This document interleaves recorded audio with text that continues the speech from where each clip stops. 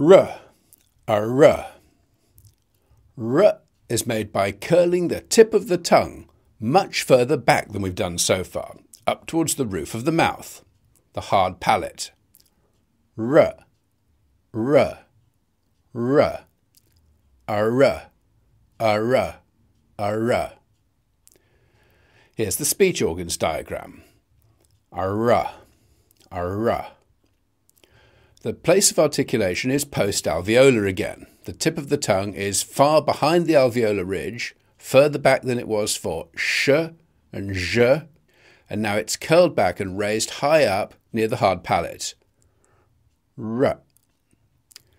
Because of the curling back of the tongue, it's termed retroflex. The tongue is flexed back. Like w, r is an approximant.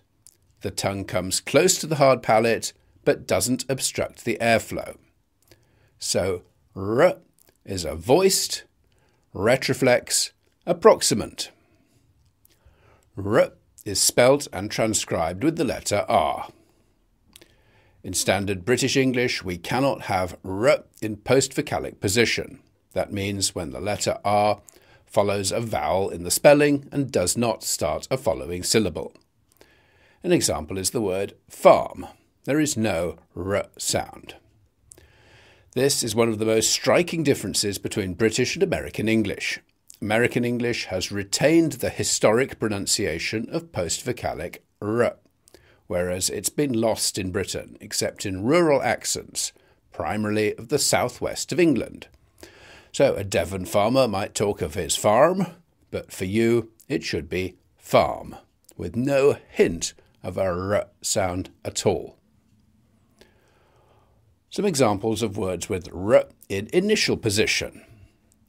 Rate, roof, raft, read, roam. In medial position, arrange, orange, ferry, caring, but not cared. There's no r sound in that. Marriage, parody. And now here are some sentences with r sounds. Really, a right royal rollicking is what Roger requires regularly. Really, a right royal rollicking is what Roger requires regularly. Really, a right royal rollicking is what Roger requires regularly. It's very unreasonable to require the reporting of unreliable records. It's very unreasonable to require the reporting of unreliable records. It's very unreasonable to require the reporting of unreliable records. Ignoring the restrictions imposed by the authorities, the risky research continued unregulated.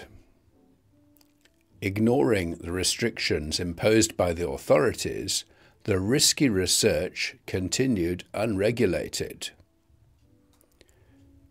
Ignoring the restrictions imposed by the authorities, the risky research continued unregulated.